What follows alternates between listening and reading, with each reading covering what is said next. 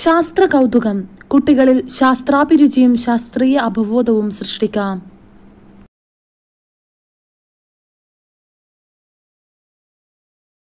Hello friends നമുക്കിന്നൊരു balloon rocket ഉണ്ടാക്കിയാലോ? അതിനിവിടെ ഞാനൊരു ഇട്ടിട്ട് അതിന് ബലൂൺ വെച്ച് ടാപ്പ് ഒട്ടിച്ചിട്ട് ഞാനൊരു സെറ്റ് ചെയ്തിട്ടുണ്ട്. അപ്പോൾ നമുക്കിത് വിട്ട് നോക്കിയാലോ?